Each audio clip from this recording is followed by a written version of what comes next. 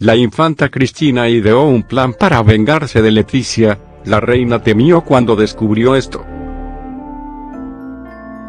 Es un tira y afloja. Tras el desplante de la reina a su cuñada en el funeral de doña Pilar de Borbón, ésta se ha tomado la revancha con un dardazo definitivo a Leticia.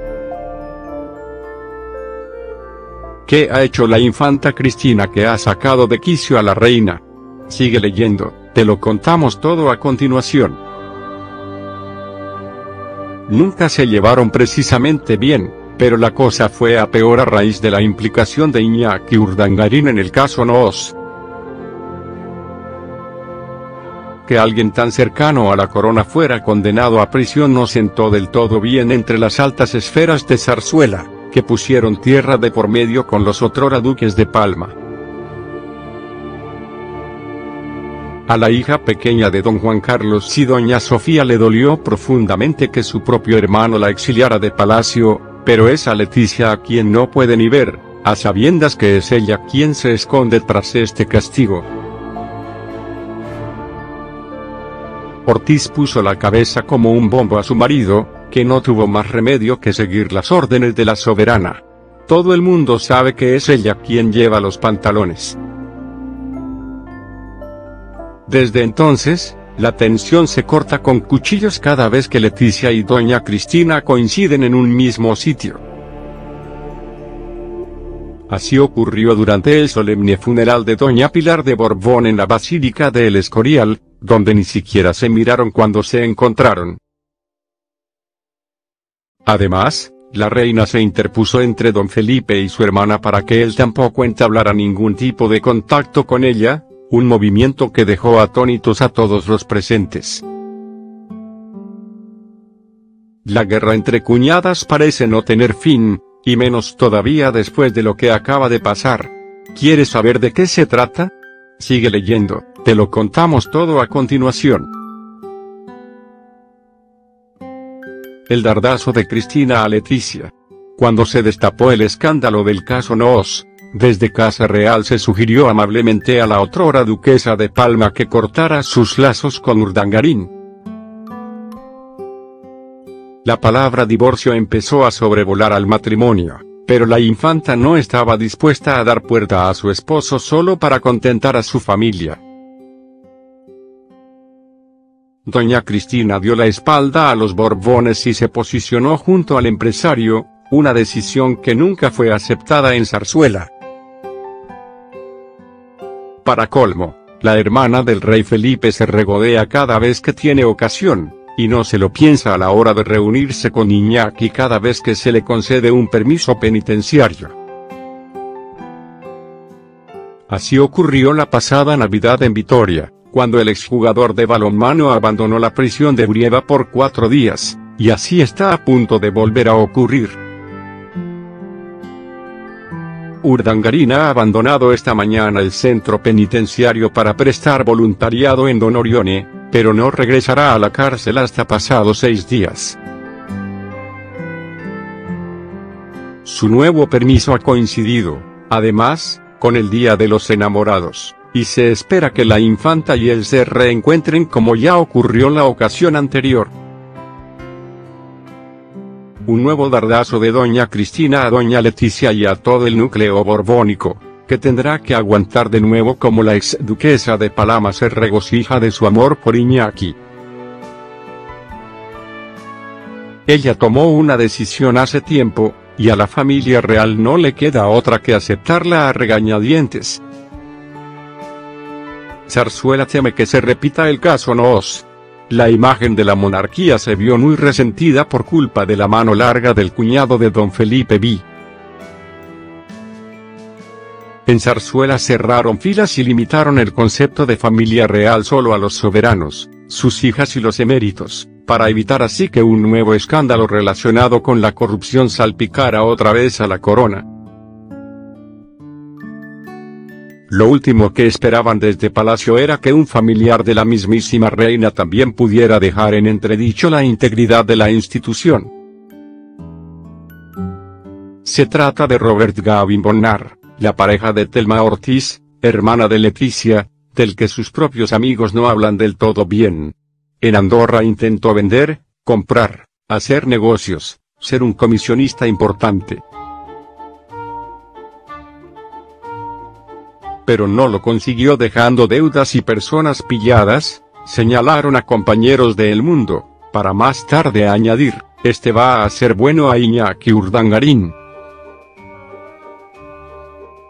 Solo faltaba que los negocios cuestionables del cuñado de Leticia volvieran a poner en jaque a la monarquía. Se espera que la reina ya haya dado un buen tirón de orejas a su hermana por esta razón, con quien nunca tuvo una muy buena relación. Aunque consiguieron llegar a un punto de entendimiento, hubo un tiempo en el que las rencillas entre ellas estaban a la orden del día. Leticia y Telma, enfrentadas por su temperamento. De tal palo, tal astilla. Los más allegados a la reina destacan su carácter complicado, y parece que su hermana ha seguido sus pasos.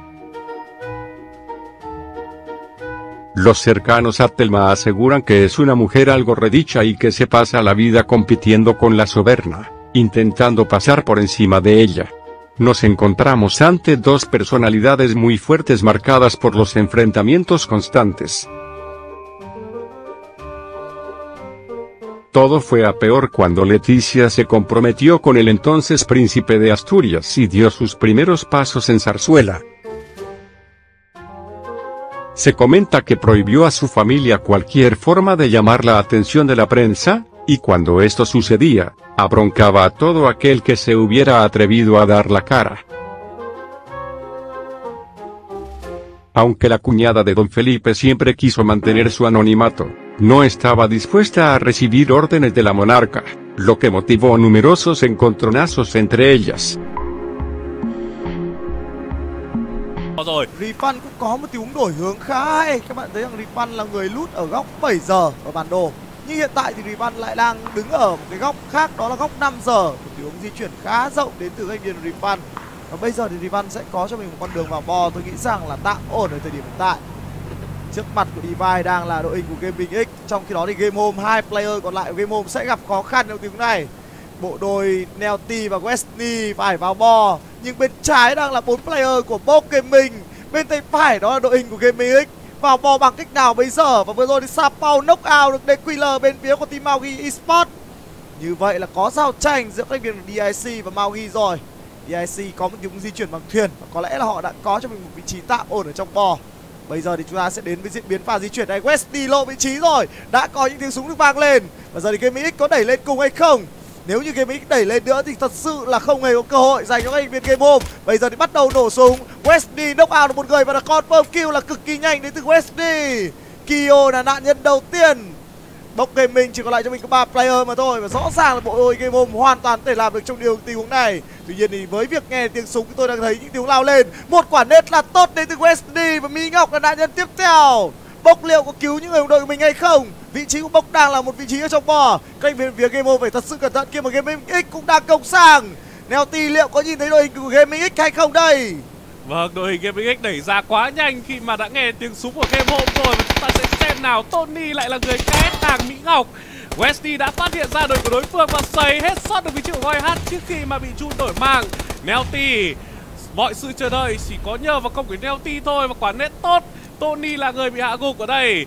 Chí Dũng đang muốn sang cứu nhưng thêm quả nét nữa. Chí Dũng không nên tiếp cận vào vị trí của Tony đâu. Rất may là quả nét đã bay ra xa hơn rồi. Nelty vẫn đang một cố gắng bỏ quay và knock out luôn vị trí của Jun, Nhưng là đắc kỳ của bên phía team King of War. Một sự hỗ trợ nhẹ tới từ các thành viên của King of War rồi. Nelty ghi điểm, Tony cũng bị confirm kill. Và giờ thì anh già Westy rất khó để thể cứu lên được. YH đang kê lại và Nelty lộ vị trí. Team đầu tiên dừng lại ở game thi đấu này, đó chính là Game Home Esports dấu chấm hết dành cho game home nhưng bây giờ thì người là có lợi thế. Lại là cách viên bên phía của team bốc game bình. Hai vết một và chỉ còn lại một bình quai thôi? Và một mình ờ, đây là quai hát và một mình hát trong tình huống một vết hai này. Bộ đôi bốc chắc chắn đã biết được vị trí của đối phương. Và bây giờ thì cả hai người đang kê lại không cho hát có đường chạy. Bò thì vẫn đang thu vào rồi vòng bò mới lại là một vòng bò giật sang góc 3 giờ. Vâng YH là player cuối cùng của cách viên gaming x cũng đã phải dừng cuộc chơi rồi như vậy là chỉ còn lại 14 team mà thôi Vâng, King of War Ducky có vẻ như thời gian cứu lại rất khó và Ducky đã phải dừng lại game thi đấu này. Severus Hải Saki đã bị hạ gục bởi Curse bên phía team Phoenix rồi. VGS ở một vị trí khó ngoài bò, bây giờ họ xuất hiện và knock out được bot ra ở bên phía team King of War. VGS đang đẩy lên sâu hơn. Du đã bị hạ gục bởi Sinfi rồi. Cuộc chiến đang là 2 vs 3 Nhưng bot Giang đang được cứu tới từ Sinfi. Béo có câu vừa tốt cho người đồng đội của mình hay không? Đây Smoke cũng được